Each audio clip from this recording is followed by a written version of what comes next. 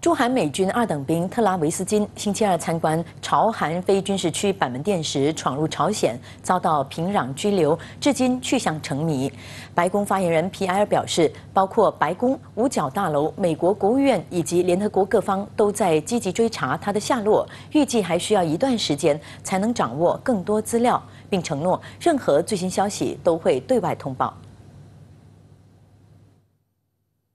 Uh, but I want to be very clear that uh, the administration has and will uh, continue to actively work, actively work to ensure his safety and the return of uh, uh, of Private King to us and to the fam- to his family, obviously. so that includes what we're doing is outreach to the administration of Sweden and also South the South Korea as well on this matter.